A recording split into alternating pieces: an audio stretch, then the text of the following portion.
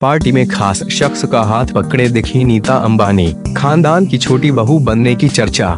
कपूर खानदान से ताल्लुक रखने वाले अरमान जैन की रिसेप्शन पार्टी का आयोजन 4 फरवरी की शाम को मुंबई में किया गया।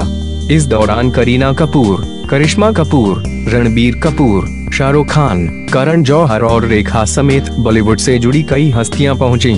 रिसेप्शन पार्टी में मुकेश अंबानी पूरे परिवार के साथ पहुँचे।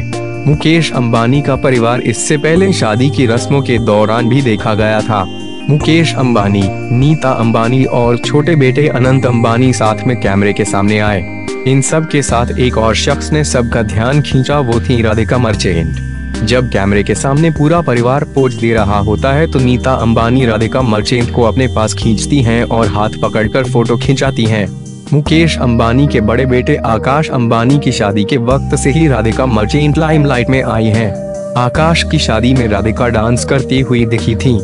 राधिका की तस्वीरें और वीडियो सोशल मीडिया पर देखते ही देखते वायरल हो गए थे। अनंत अंबानी के साथ राधिका आईपीएल और कई अन्य इवेंट में साथ दिखे हैं। ऐसी चर्चा है कि जल्द ही अनंत अंबानी शादी के बंधन में बंध जाएँगे। अभी तक दोनों ने अपने रिलेशनशिप का आधिकारिक ऐलान नहीं किया है। अरमान जैन की रिसेप्शन पार्टी में जिस तरह नीता अंबानी और राधिका की करीबी दिखी, उसके बाद इन खबरों की पुष्टि होती दिख रही है।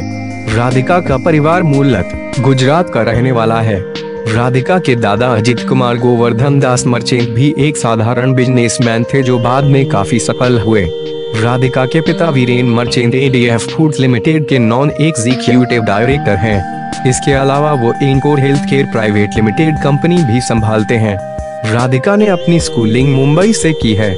इसके बाद राधिका ने पॉलिटिक्स और इकोनॉमिक्स में न्यूयॉर्क यूनिवर्सिटी से ग्रेजुएशन किया है। राधिका मर्चेंट ने अपने करियर की शुरुआत के डार कंसल्टेंट देसाई एंड दीवान जी और इंडिया फ़र्स्ट जैसी कंपनियों से की।